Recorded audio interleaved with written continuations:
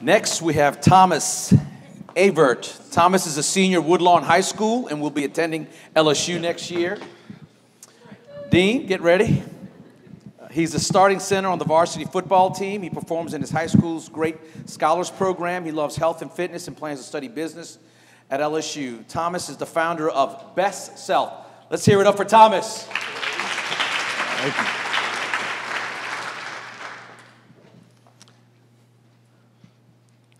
A few years ago, I woke up and I didn't like what I saw in the mirror, nor did I like the way I felt. And maybe you guys have been there before. So I took the initiative to make the overall change in my health. And through hard work and dedication, I was able to achieve my best self. And this journey was not easy, not easy at all. It actually came with quite a few barriers, some of which we may all experience. We don't always have the time to make it to the gym due to school or work. We don't always have the money to hire personal trainers and counselors. And on top of that, we just might not have the motivation to get up and get started. And we call these people our corporate couch potatoes. So this brought up a question within myself how could I help our corporate couch potatoes and others easily become their best selves? And that's how I came up with the idea of the Best Self app and website. And through an in depth questionnaire, you will be able to be provided with customized health plans that will help you achieve your best health. And our plans will be nutritional, mental, and physical. Now, like I said in the beginning, our overall goal is to become mobile, so that way you can access us anytime and anywhere.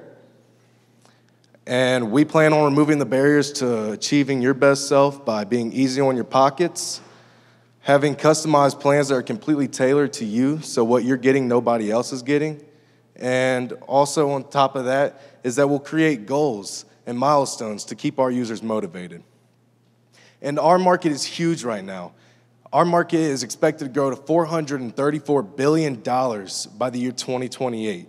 And with a market that big, it's anybody's game. And there are plenty of fitness apps already out on the market, but none of which compare to Best Self. The Sculpt U app, for example, it's very generalized in what they offer. It lacks important info, and it has limited customization, all of which Best Self knocks out of the park. And our return on investment with a subscription revenue of $300 per year, with 1,000 subscribers, we'll be able to have a gross revenue of $175,000 while it takes us 125 to get fully developed. And here's how you guys can help me get in shape. I'm asking for $4,500, which will go to website development and advertisements.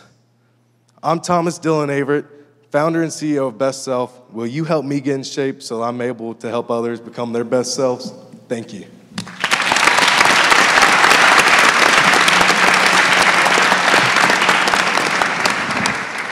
So, Thomas, uh, really enjoyed reading uh, about you and just tremendous story, and the pictures don't do the story justice. So, uh, congratulations.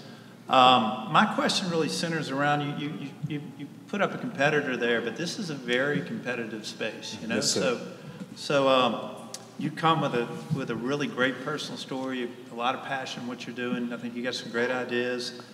So, give me a little sense of like how you're going to penetrate the market. How are you going to get out there and and and differentiate differentiate yourself from something that's pretty pretty intense out there in terms of the amount of competitors vying for this space. Yes, sir. I definitely plan on uh, marketing through social media and yeah. Google. And our differentiation is that we really focus our 50% on mental health because I believe personally those two go hand in hand in what you get in and out of the gym and in and out of where you work and everyday life. So we'll hire professional counselors, professional nutritionists, and personal trainers, all of which will be able to tend to the many. Thank you, Thomas. So, Thomas, uh, first, again, congratulations just for, for, for being here. And, and I, I also had a chance to read and look at your story, and I was very touched by I'm, I'm also a former football player myself, so I understand the, the ups and downs of gaining weight, getting in shape, gaining it back, that's why sir. I definitely love those brownies. So, brownies good. But but seriously, uh, when when I did my reading, it was three three apps that came to to mind. Uh, of course, one of them is, is sponsored by LeBron James, uh, Calm, and another one, uh, Yoga.go and Verb. And I know those have a lot of content uh, that they put into it. Uh, when you put up one hundred seventy five thousand dollars for uh, your gross profit, one of the things that I've, I've heard from a lot of the other presenters is that I want to make sure that you guys are taking into consideration what is going to cost to have the content created. You know, because for you, if you're talking about being the app that's going to allow people to really have self care, then that's going to require a lot of, uh, you know, mental health uh, professionals uh, as well as your personal trainer. So take a lot of that into consideration when you're looking at the actual numbers, so that you have your your gross your gross margins uh, properly uh, calculated, so that you don't you know go into a bad situation. Yes, sir. So. Thomas, what are you studying? What do I study? What are you going to study in college? I plan to major in business management and have a double minor in kinesiology and nutrition. So you're all in on this. Oh, you're I'm going to be the face I'm on. very passionate. I like the name. Good luck. Thank you. Let's save it up for Thomas.